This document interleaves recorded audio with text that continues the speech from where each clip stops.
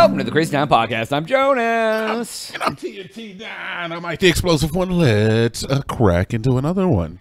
TNT, Yo. we let the cat out of the bag that we recorded ahead because I was going on vacation. And now you're back. I'm back. I came back. Jonas, uh, do you, are we talking about your vacation? We can talk about the vacation. I guess we can talk about that vacation week. Honestly, funny enough, I haven't really spoken to you, even IRL, too much about what your vacation entailed. We had a pretty. Oh yeah, we chatted a little bit the night I got little home. bit, a little bit. Yeah, not much. Yeah, a little yeah. bit. But, uh, you know, I went to bed, uh, and then we had like a busy weekend, and during the week we don't see each other a lot. So, yeah, let's let's get into it. So, Uh, yeah, hey, this will be the Joni vacay episode. Where the hell did you go? I went to Cancun, You Mexico. this rich mother fudger going to Cancun on Crazy Town Cash?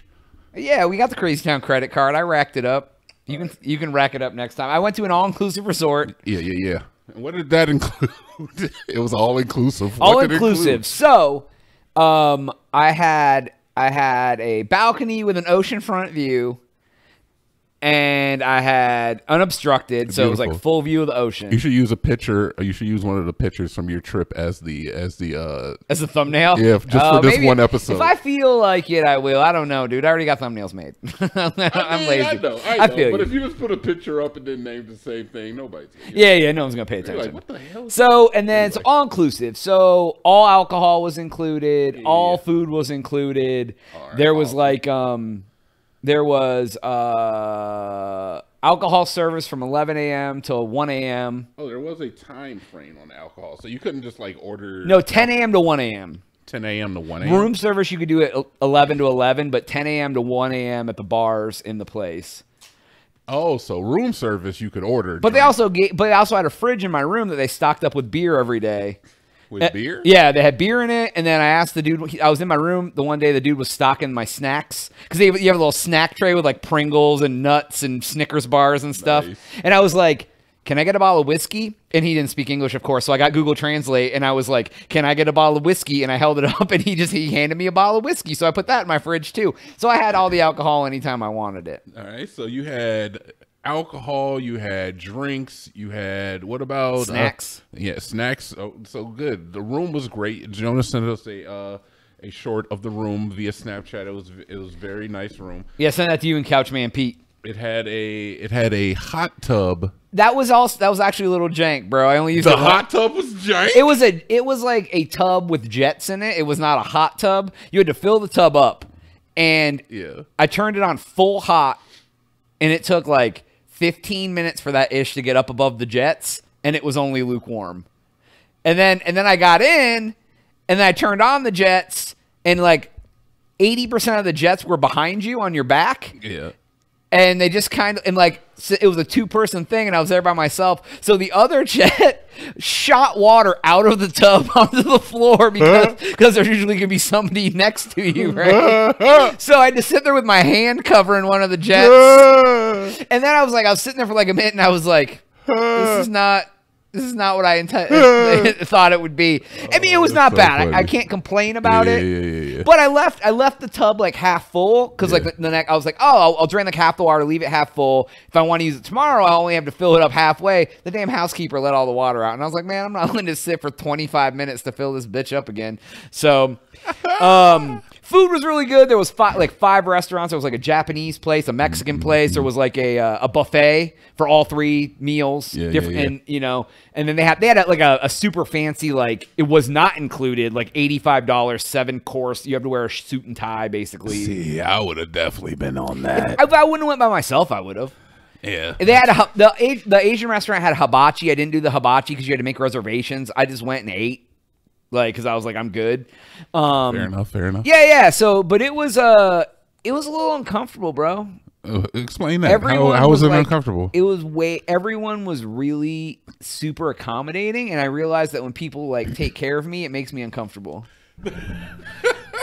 like, Does it bring does it like bring out the white guilt? I, I guess so, bro. I don't know. Do you look at it and think my ancestors did? I'm this? like, great, great, great grandpappy.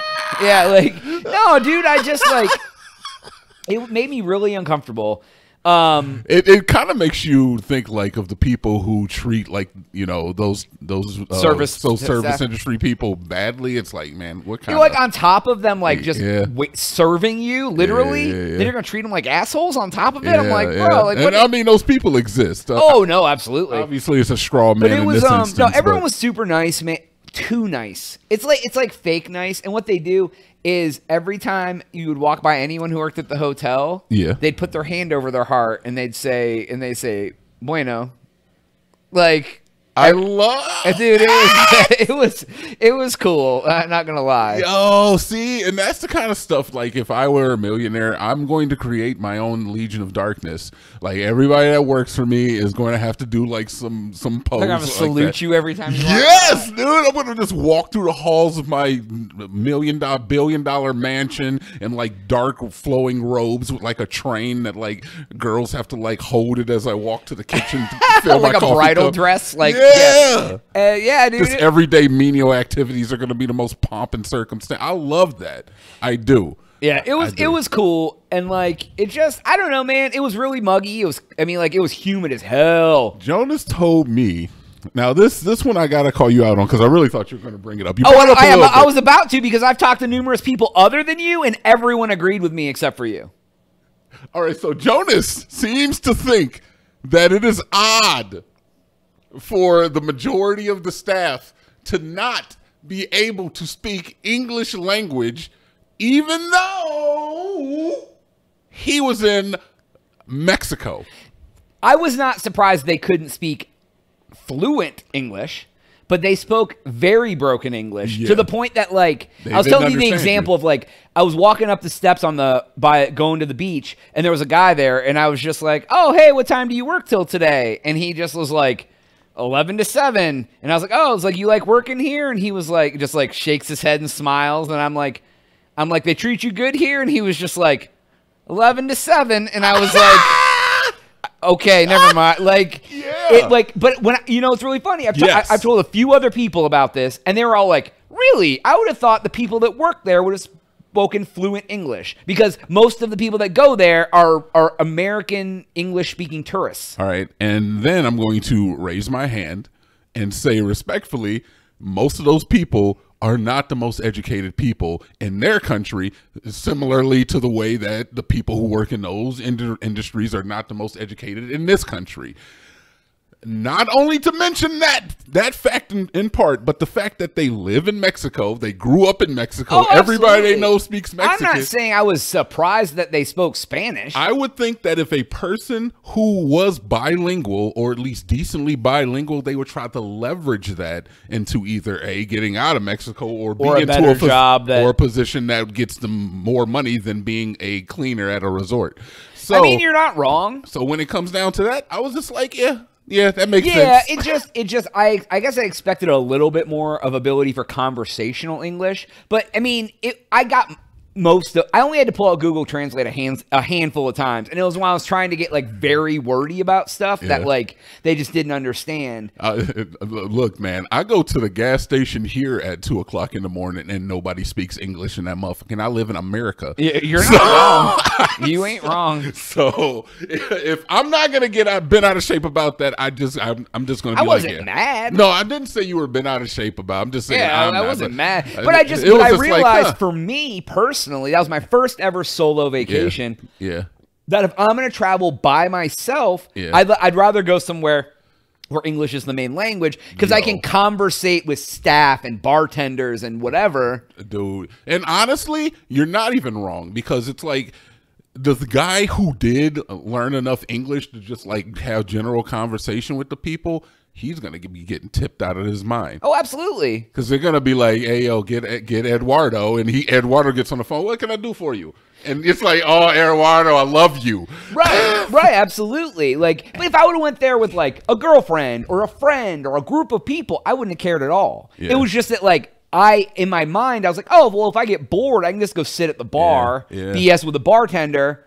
Yeah, You know, maybe but- maybe that because I feel like every resort in a different country that that mostly pertains to a different country because like most of the people that go to that resort would probably be American. Most of them, yeah. I mean, there was some like some dudes there from England and, okay. and there was some Asian folks there and stuff like that. Okay, but okay. most of the people there were American. Okay, and, You know. and I would expect that because it's like the distance and everything, and the Right. price point is probably a lot better for us. And, and that sounds amazing. So yeah, you definitely should have a, a translator there or something. Right, But right. Especially an all inclusive. Come on, have one guy. Right. Hi- well, right. Hire so, somebody. So yeah. So the next time I go on a solo trip, I'm just gonna go somewhere in the states and just like.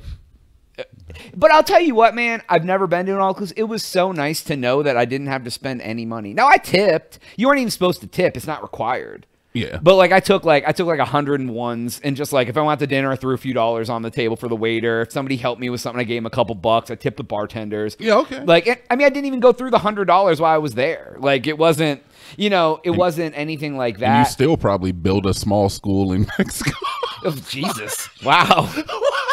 But but no, man, it was it was nice to be like I oh spent X amount on this vacation, and then the only money I spent extra was like I paid for a massage like spa day, and then I paid for one excursion to go on a go on a boat to an island, and that was it. Other than that, I spent Yeah. zero dollars, and it was like you Dude. knew everything up front. Did you get a Mexican happy ending? No, No. But it was the best massage I've ever got in my life. And I asked that lady how You've long had she- a few.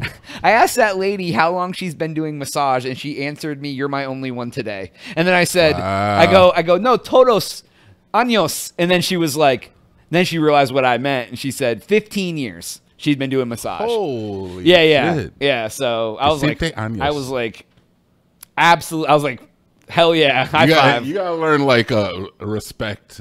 and, right, uh, like- right, right, right. So, anyways, that was my vacation. Spanish. It was, I mean, it was, it was, it was wonderful. Yeah, it wasn't bad.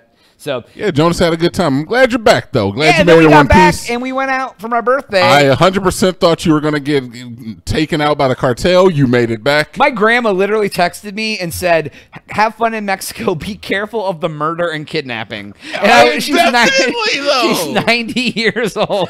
Not wrong, dude. Just be yeah. I'm glad you made it out. and then, uh, yeah, and then we went out and like had like a big old gathering for my birthday. And that, I mean, it was a good ass week, man. All right, so. I'm, I'm gonna have to loosen the a little bit on you. Yeah, yeah, like, yeah. Thanks, Dad. Let them roam free a little Yeah. bit. All right, that's all the time we have for today's episode. Go to crazytown.com for Jonas. TNT. Oh, we up.